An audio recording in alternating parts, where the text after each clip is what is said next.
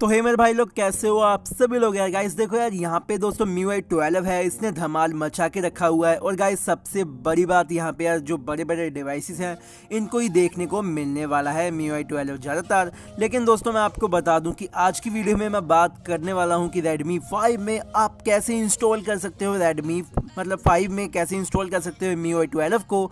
तो चलिए दोस्तों, अगर आप इस वीडियो को पूरा देखोगे तो आपको सारा प्रोसेस समझ में आ जाएगा। तो चलिए दोस्तों, कर लेते हैं वीडियो को शुरू। तो गाइज़ वीडियो शुरू करने से पहले अगर आप मेरे चैनल पे नए आए हो तो गाइज़ चैनल को विज़िट कीजिएगा। अगर आपको ये चैनल अच्छा लगता है तो आप इसे सब्सक्राइब भी कर सकते हो।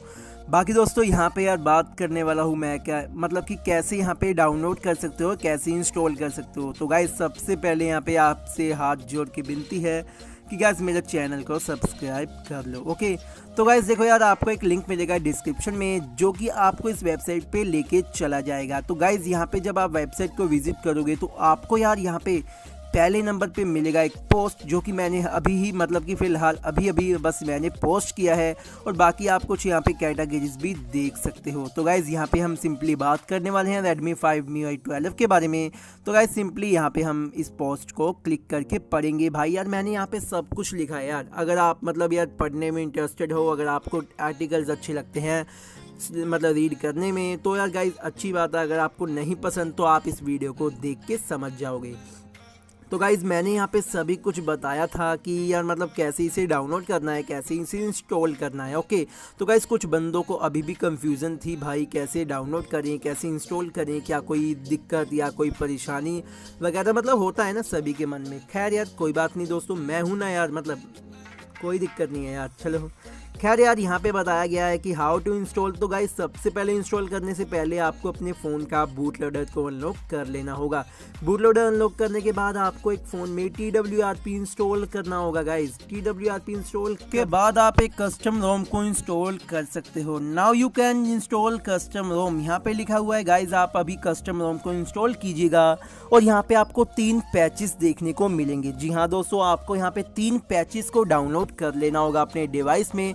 जिसे आप रखेंगे अपने एस कार्ड में। तो चलिए दोस्तों वीडियो के ट्यूटोरियल में जाके मैं आपको सिंपली बताता हूँ कि कैसे कैसे क्या करना है ओके तो गाइज़ ये देखो यार बूट लोडर मैंने यहाँ पे बता दिया है कि मेरा यहाँ पे वीडियो है। आप देख सकते हो कैसे बूट लोडर को अनलॉक कर लेना होगा। तो गाइज़ सबसे पहले आपको अपने कस्टम रिकवरी में चले जाना होगा। तो गाइज़ मैं अपनी कस्टम रिकवरी में चला गया हूँ, आप देख सकते हो। तो आपको सिंपली अभी कुछ नहीं करना है। आपको सिंपली जब इसे ओपन होने के बाद आपको जाना है, सबसे पहले वाइप पे जो भी डेटा है, यहाँ पे वाइप करना होगा। मतलब जो आपकी पुरानी रोम है, इसे वाइप करना होगा, जो कि मैंने अपने पोस्ट में भी बताया है। एडवांस में जाने के बाद दोस्तों, यहाँ पे आपको ये S D card internal storage को छोड़कर बाकी सभी पे टिक करके यहाँ पे स्वाइप कर देना है और यहाँ पे आपका डेटा सब कुछ लॉस हो जाएगा। अगर आपने बैकअप नहीं लिया है तो सब कुछ लॉस हो जाएगा। अगर आपने बैकअप ले लिया है तो बहुत अच्छी बात है। तो गाइज़ आफ्टर कंप्लीट होने के बाद दोस्तों, यहाँ पे हम आ चुके हैं वापस और सिंपली जाएँगे अपने इंस्टॉल पे। अभी इंस्टॉल पे जाने के बाद हम इसी इंस्टॉल करेंगे जो हमारे पास जो हमारे पास जो हमने डाउनलोड किया था यहाँ पे कस्टम रोम अपने फ़ोन के लिए तो सिंपली इसे फ्लैश कर देंगे। फ्लैश करने के बाद जो दोस्तों पैचेस थे, उसे भी बाद में इंस्टॉल कर देंगे।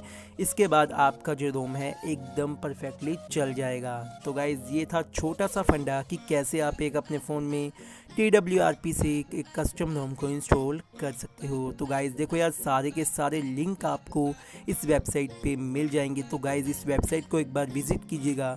सारे लिंक आपको डिस्क्रिप्शन में मिलेंगे। अगर ये लिंक काम नहीं करता है तो आप मुझे कमेंट करके भी बता सकते हैं। वेल well, दोस्तों सारे लिंक यहाँ पे वर्किंग है। मैंने खुद चेक किए हैं। तो गाइज़ देखो यार आज की वीडियो में इतना यार। मिलता हूँ अगली वीडियो में। अगर आपके मन में कोई सवाल है या फिर आपके मन में कोई होगा, यार भाई, ये इंस्टॉल नहीं हो रहा है, कोई दिक्कत है, कोई प्रॉब्लम तो आप मुझे कॉन्टैक्ट कर सकते हैं। मेरे कमेंट बॉक्स में मैसेज कर सकते हैं। तो मैं आपका जवाब ज़रूर